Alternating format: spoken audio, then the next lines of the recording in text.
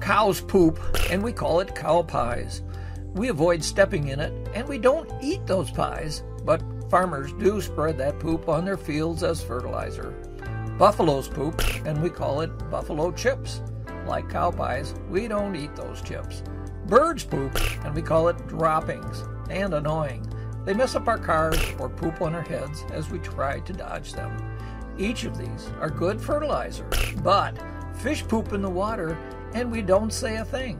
Jokesters call it bass turds.